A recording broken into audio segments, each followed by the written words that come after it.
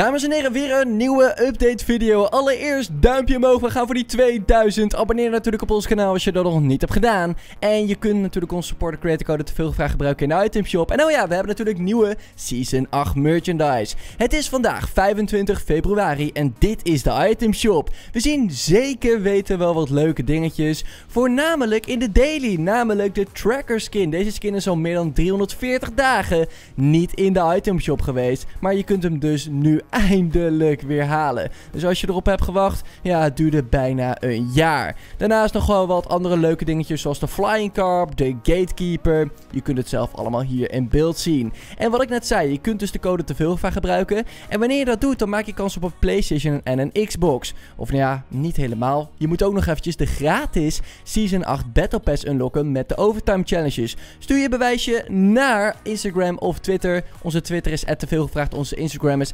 DionTVG of MatthijsTVG. En dan komt dat helemaal goed. Uh, wie dat ook heeft gedaan is uh, Shatnam. Oké, die dat is een lastige naam om uit te spreken. Ik zeg je heel erg eerlijk. In ieder geval, hij zegt: Ik hoop dat ik de PlayStation 4 of Xbox heb gewonnen. Omdat ik nu op een telefoon speel. Op de telefoon spelen is natuurlijk wel wat minder. Maar hey, je doet in ieder geval mee aan de giveaway. Want ik zie dat je alles hebt gedaan.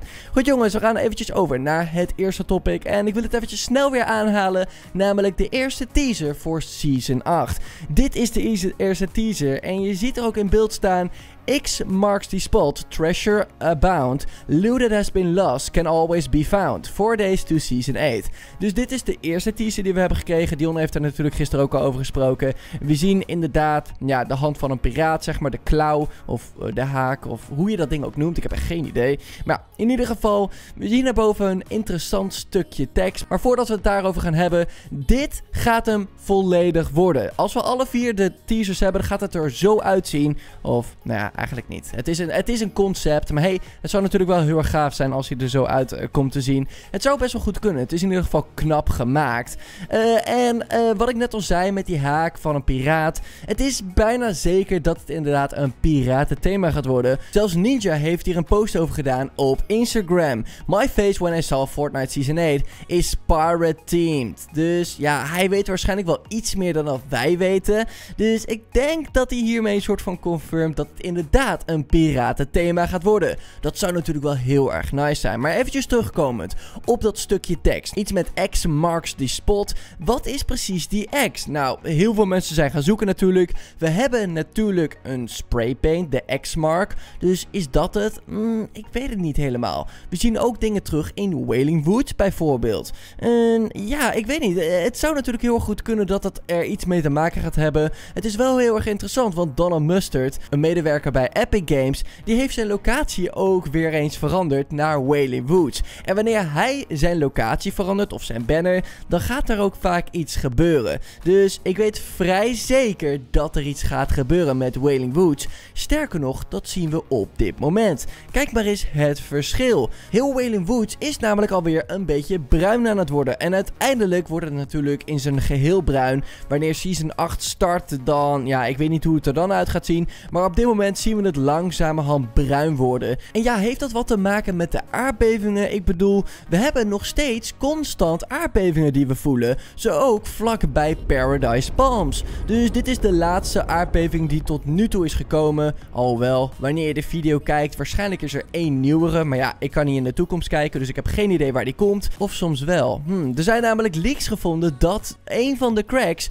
bij Tilted Towers gaat plaatsvinden. Namelijk als je onder de grond kijkt, dan kun je een soort van zien waar de volgende gaat komen. En dat is dus onder Tilted Towers. Of nou ja, eigenlijk komt hij gewoon bij Tilted Towers. Maar is het onder de grond te zien bij Tilted Towers.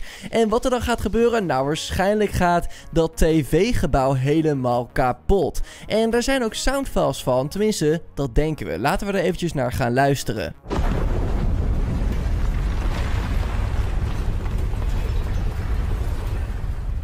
Nou, het lijkt er inderdaad op dat het gebouw helemaal kapot gaat. En ja, dat is niet de eerste keer. Dion heeft het gisteren al verteld. Dat gebouw is inderdaad al meerdere uh, keren kapot gegaan. Bijvoorbeeld bij de meteorieten of Kevin the Cube die hem ook helemaal heeft gesloopt. En nu gaat dat waarschijnlijk dus weer gebeuren met een aardbeving. Echt waar, dat gebouw blijft maar gesloopt worden. En dat is aan de ene kant wel grappig, want dan hebben we natuurlijk constant ook een map change daar. Maar aan de andere kant, ja, het mag ook wel een keertje heel blijven Maar ja, eventjes terugkomend op dat piratenthema, hè. Want wat gaat dan de tier 100 skin worden? Nou, dat zou dus ongeveer deze skin kunnen zijn. Ik wil niks met zekerheid zeggen, het is het um, namelijk niet. Niks is confirmed hiervan. Maar het zal er wel ongeveer op kunnen lijken natuurlijk. En ja, natuurlijk, je kunt dan die skin ook unlocken met verschillende stages. Dus hoe meer XP je hebt, hoe hoger je hem kan unlocken met verschillende kleurtjes, et cetera, et cetera. Tenminste, dat is wat ik een beetje gok. Dat hebben we namelijk ook teruggezien bij de vorige seasons.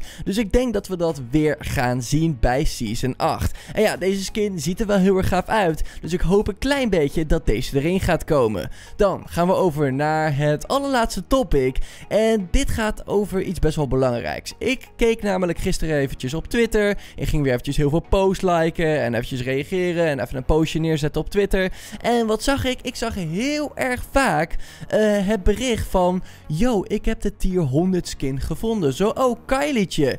Ik keek jullie video en onder jullie video stond deze advertentie. En ik denk dat Kylie dit meer als waarschuwing aan mij stuurde. Zo van, yo, dit is niet helemaal correct volgens mij. En inderdaad, dat klopt ook. Want deze advertentie, die dus heel erg vaak naar ons is gestuurd. Zo van, yo, dit is de tier 100 skin van Season 8. Uh, eh, dit is een scam. Of nou ja, scam, het is een valse advertentie. Want het lijkt inderdaad op Fortnite, maar het is Fortnite niet. Want zoals de oplettende kijker weet, Fortnite die heeft geen advertenties meer op YouTube. Ze zijn namelijk vorige week van YouTube afgestapt wegens bepaalde redenen. Dus alles wat je ziet qua advertenties op YouTube, wat met Fortnite te maken heeft, dat is allemaal nep. Dus pas op mensen, dit is gewoon een keiharde scam. Klik niet op die linkjes, het kan gevaarlijk zijn. Ik weet niet of dit per se heel erg gevaarlijk is, maar klik er gewoon niet op voor de zekerheid. Want ja, beter erop worden, dat gaat absoluut niet gebeuren, wat ze ook beloven. Dus klik er niet op,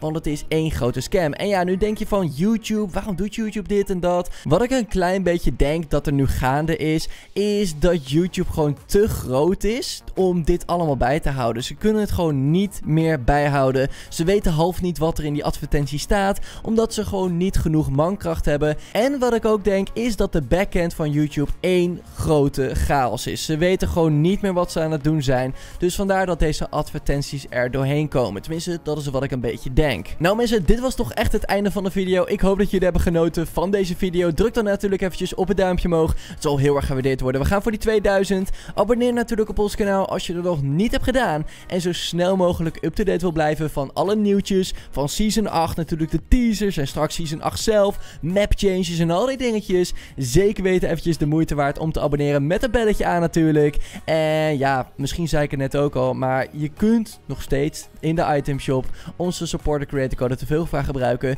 Dan maak je kans op een PlayStation of Xbox wanneer jij de Season 8 Battle Pass daarmee unlockt en een bewijsje naar ons stuurt. Dan komt dat helemaal goed. Mensen genieten nog eventjes van de gameplay hier in beeld en tot de volgende video. Peace out.